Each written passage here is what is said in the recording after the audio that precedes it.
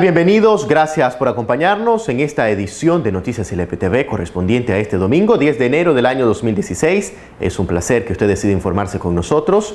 A continuación damos inicio con el detalle de nuestras informaciones.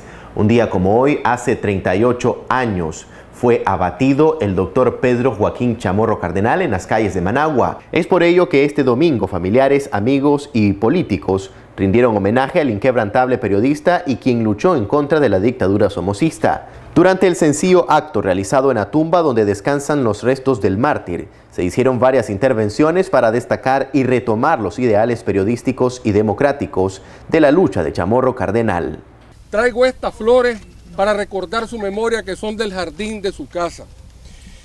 Como todos los años, mi padre era también un agricultor y en su casa cultivaba uvas, cultivaba flores. Y como todos los años, he pasado por la casa de mi madre cortando estas flores para él.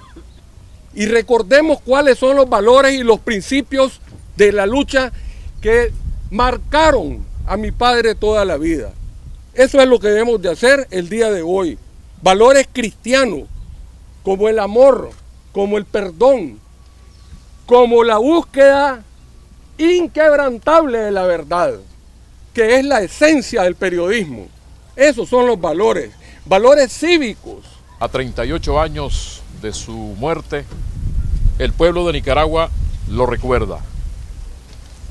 Y lo recuerda como el mártir, como el hombre valiente como el hombre que dejó encendida esa llama y que hoy nos corresponde a esta nueva generación de periodistas continuar adelante, continuar con su lucha, seguir su ejemplo, seguir adelante, seguir su camino, seguir esa trayectoria, esa huella que ha dejado Pedro y que por, y que por lo tanto hoy Nicaragua está nuevamente comprometida a seguirle rindiendo homenaje y a continuar ese camino que nos dejó marcado. Digo que en la prensa hemos, tenemos el orgullo y el honor de ser los fieles continuadores de la obra, el ejemplo y la prédica de Pedro Joaquín Chamorro en cuanto a periodismo y defensa de la libertad de prensa, porque lamentablemente los éxitos que se han conseguido en cuanto a los objetivos políticos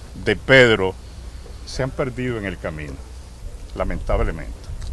Y déjenme decir con toda franqueza, porque así lo siento, me da vergüenza que después de todo lo ocurrido en este país, de tanta sangre derramada, de una revolución armada violentísima que se desencadenó precisamente como consecuencia de la muerte por asesinato del doctor Chamorro Cardenal, y después de otra épica gloriosa, pero cívica y electoral, como fue el triunfo de doña Violeta Barrios de Chamorro, su viuda, en hombros de la Unión Democrática de Liberación, que triunfó para establecer la república que quería y soñaba Pedro.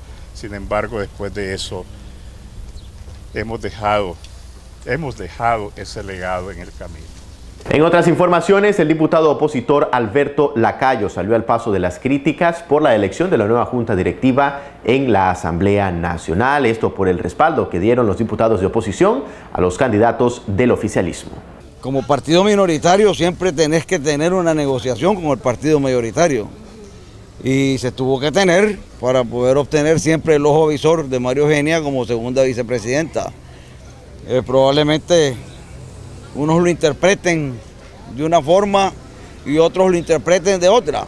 Probablemente fue incorrecto, probablemente fue correcto, pero eso quedará para la historia cuando nos juzgue la posteridad. Yo creo que en estos momentos para liberar a Nicaragua hay que hacer todo tipo de sacrificios, incluso sacrificios políticos, como el que nos tocó hacer ayer, votar por miembros del Frente Sandinista para poder conseguir ese escaño del ojo avisor en la junta directiva.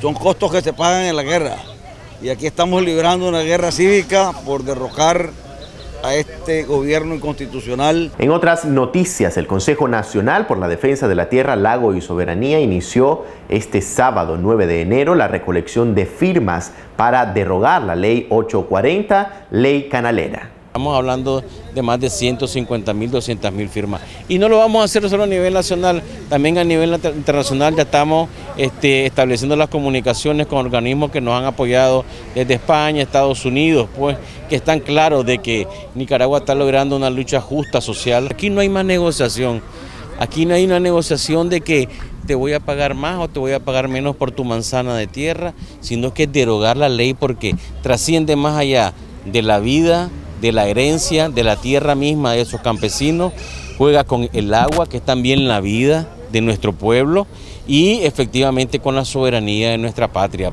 En noticias internacionales, el abogado de Joaquín Guzmán Loera, conocido como El Chapo, asegura de que no debe ser extraditado a los Estados Unidos. Veamos sus razones.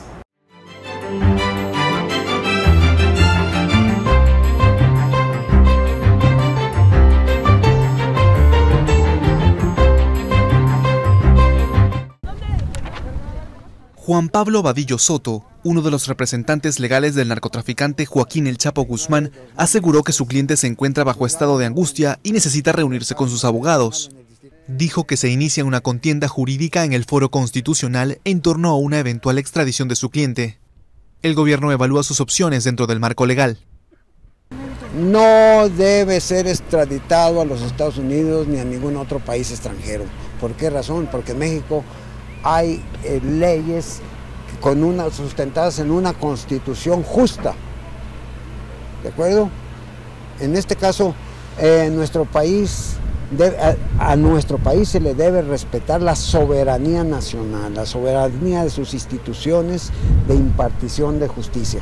Las autoridades mexicanas evitaron hablar de la extradición el viernes tras la captura, pero la Fiscalía obtuvo en septiembre pasado una orden de aprehensión con esos fines. Los abogados del capo solicitaron un amparo que fue finalmente desechado por un juez, aunque podrían intentar de nuevo bloquear la extradición. Guzmán fue trasladado en helicóptero hasta la cárcel de El Altiplano, ubicada a 90 kilómetros de la capital del país.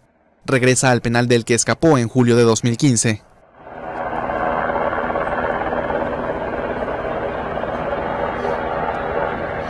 Mientras tanto, en el Vaticano, el Papa Francisco celebró la fiesta del bautismo del Señor, liturgia de la Iglesia Católica. Ahí manifestó de que la fe es la mejor herencia que se le puede entregar a las nuevas generaciones.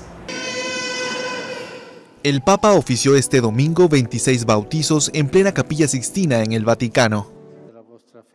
Todos hijos de empleados en la Santa Sede.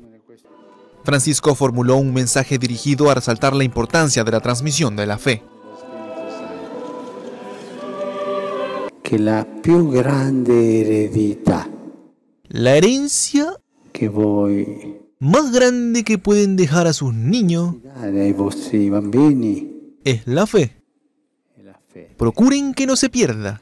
Cercare que no venga persa. El acto se realizó en el día en que la liturgia conmemora el bautismo de Jesús en el río Jordán. Gracias por habernos acompañado en esta edición de Noticias LPTV. Recuerde seguirnos a través de nuestras cuentas en redes sociales. Que pase una excelente noche.